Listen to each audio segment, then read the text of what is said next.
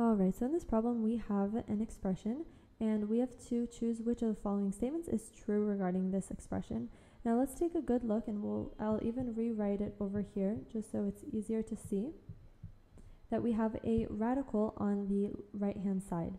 Now if we take a look at our limitations for each of the variables, c has a limitation that has to that c has to be greater than or equal to 2.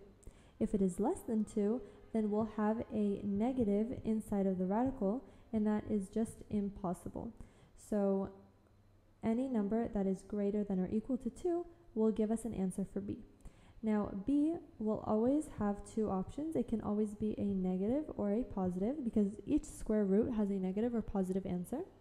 Therefore, um, we know our two limitations for b and c. Now we can move on to our statements.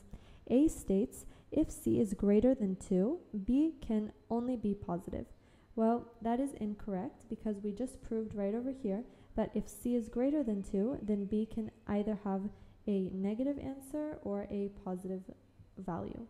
So therefore, a is incorrect. Let's move on to b. If c is less than 2, there are no solutions for b. That statement is correct because we also proved that over here.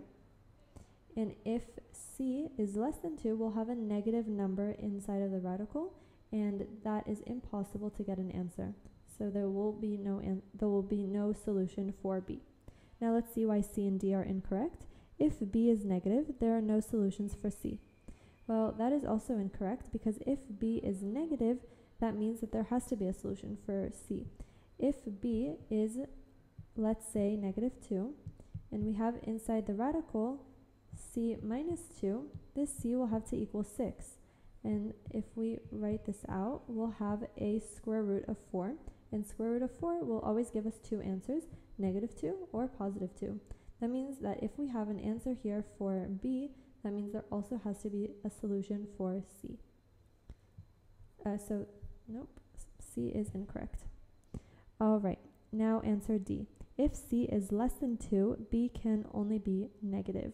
Well, if c is less than 2, then we will have no solution because we'll have a negative answer inside of the radical, which means that it is impossible. Therefore, d is also incorrect, and our final answer will be b.